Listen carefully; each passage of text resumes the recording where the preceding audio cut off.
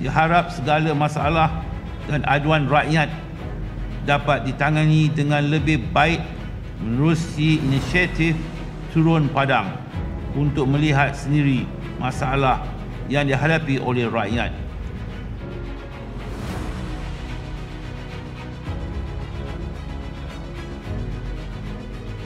Aturkan masa pastikan kita turun padang dengar menyelami perasaan menyantungi rakyat supaya pastikan tiada yang tertinggal tiada yang tertinggi saya akan cuba santuni pelbagai pihak sewajarnya berdasarkan peraturan etika berlandaskan nilai murni dan peradaban mulia Proses perbandaran yang pesat di Petaling Jaya menyaksikan lanskap geografi serta corak kehidupan di bandar berubah.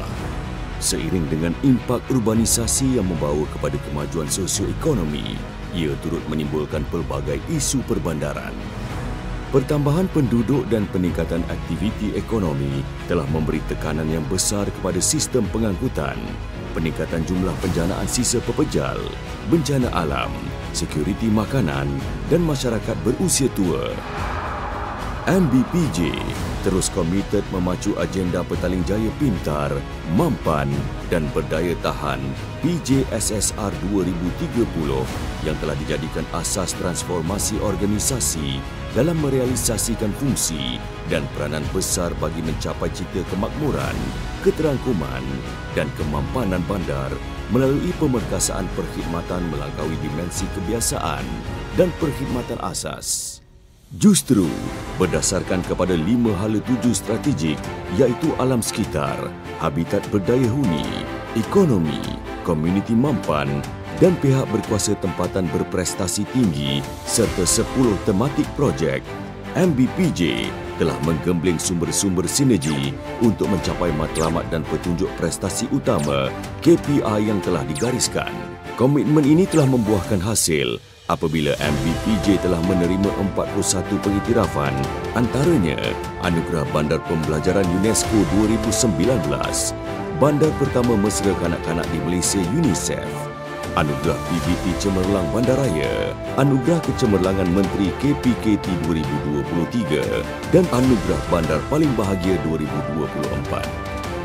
Inisiatif strategik dan pelan tindakan yang dilaksanakan ternyata membawa kepada keberhasilan yang memberangsangkan dengan skor 87.7% untuk pencapaian keseluruhan 10 projek tematik pada tahun 2023. Ini turut diperkukuhkan dengan pencapaian cemerlang 94.4% merangkumi 10 bidang perkhidmatan kajian kepuasan pelanggan. Pendekatan bersepadu pemerkasaan kapasiti dan kolaborasi strategik bersama pemegang taruh telah membolehkan MBPJ meneroka potensi baru yang kreatif dan inovatif. Aspirasi ini telah menghasilkan 26 projek berimpak tinggi melangkaui fungsi asas majlis berdasarkan tematik PJSSR 2030 untuk kesejahteraan warga Petaling Jaya. Dalam usaha menyokong inisiatif kerajaan mengurangkan pelepasan karbon, MBPJ telah mengambil langkah proaktif dengan membangunkan Pelan Tindakan Iklim Petaling Jaya 2030. Melalui kerjasama agensi antarabangsa, Global Covenant of Mayors for Climate and Energy, GCOM dan Universiti Teknologi Malaysia, UTM, Pelan ini menetapkan sasaran pengurangan karbon sebanyak 33% menjelang tahun 2030. MBPJ telah membangunkan PJ Eco Recycling Plaza, sebuah pusat sehenti pertama di Malaysia dengan inovasi 5R, Reduce, Reuse, Recycle, Rethink, Reinvent dan mempunyai sebanyak 15 rakan strategik yang terdiri daripada pelbagai syarikat swasta dan NGO. MBPJ terus melangkah ke hadapan dengan membangunkan pusat pengkoposan Waste to Wealth menggunakan teknologi anaerobic digestion mesra alam yang berupaya mengkompos sisa makanan dengan kapasiti satu tan sehari.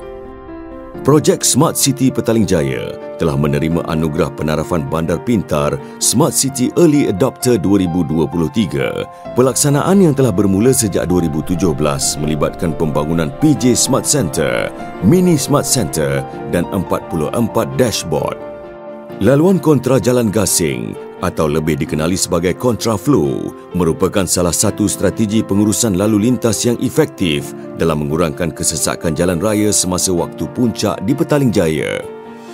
Skuad Pantas MBPJ ditubuhkan pada 2011 dengan kekuatan 32 orang anggota merupakan satu-satunya PBT yang berkolaborasi bersama pasukan SMART, pasukan mencari dan menyelamat khas Malaysia bagi meningkatkan tahap kompetensi pasukan.